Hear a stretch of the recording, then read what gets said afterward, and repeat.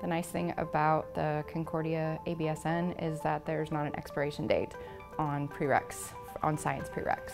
So students can have a microbiology class from 10 years ago and that can still count towards their program. When they start uh, their prereqs, they come to us with a certain number of credits, but there are some things they have to take. Some are Concordia distinctive courses, uh, some are courses like anatomy and physiology. Most students haven't had that unless they're looking at a nursing track or some kind of a medical program to begin with. The required courses is Old Testament, New Testament, and two leadership courses. And working as a police officer, I, worked so many hours, I didn't have time to sit down and read the Old Testament or the New Testament and to really critique it and, and learn about it. And I really appreciated that it was part of the program because I had the time to do that finally. We try to take some of the guesswork out of that for students by offering the prerequisite courses through Concordia.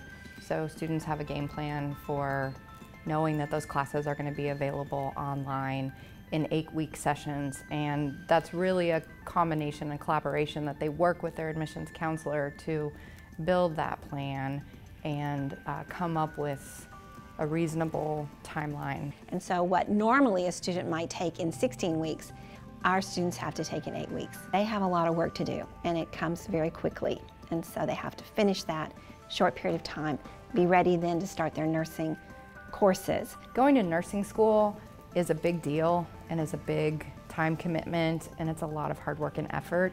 And if we can help mitigate that process and make it easier for people to do so, that's our goal.